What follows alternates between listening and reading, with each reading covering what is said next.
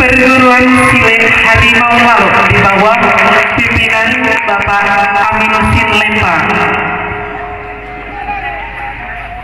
Setiap hari Bapak Ibu hadirin yang terhormat, di laga-laga ini dilakukan latihan silat bagi pemuda dan pemudi di desa Cibadah Air Utara.